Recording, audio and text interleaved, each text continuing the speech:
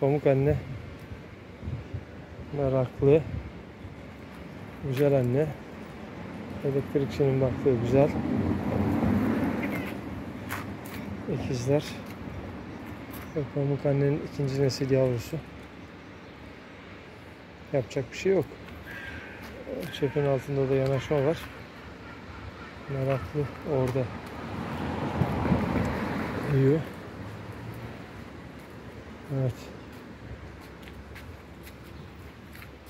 Hadi bakalım Pamuk anne. Senin yuvana mama verdik.